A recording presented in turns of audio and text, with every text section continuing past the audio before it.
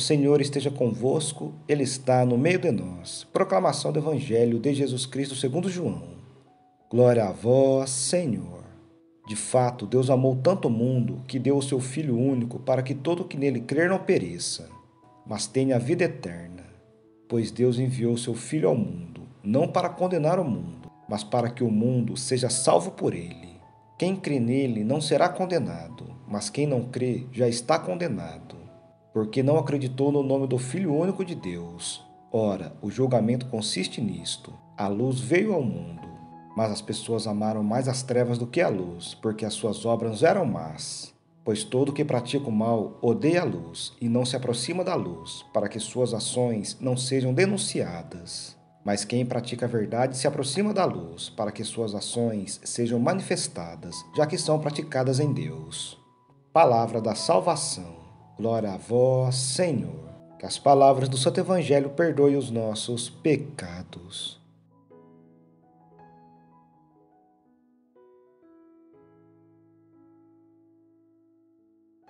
Hoje, diante de opiniões que sugerem vida moderna, pode parecer que a verdade já não existe. A verdade sobre Deus, a verdade sobre os temas relativos ao gênero humano, a verdade sobre o matrimônio, as verdades morais e, por último, a verdade sobre mim mesmo. A passagem do Evangelho de hoje identifica Jesus Cristo como o caminho, a verdade e a vida. Sem Jesus, só encontramos desolação, falsidade e morte. Só há um caminho e só um que leve ao céu, que se chama Jesus Cristo. Cristo não é uma opinião a mais, Jesus Cristo é a autêntica verdade Negar a verdade é como insistir em fechar os olhos diante da luz do sol.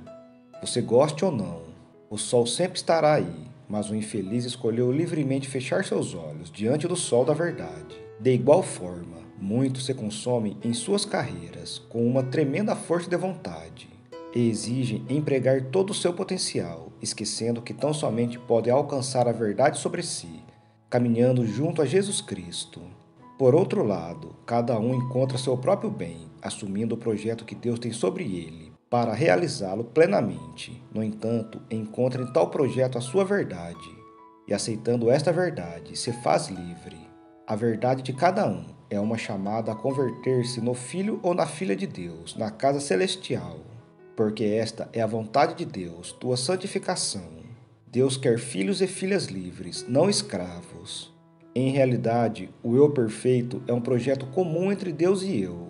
Quando buscamos a santidade, começamos a mostrar a verdade de Deus em nossas vidas. Que possamos ser como os santos, que são como um raio de luz que sai da palavra de Deus. Um santo dia a todos vocês, meus irmãos. Fiquemos na paz de Cristo.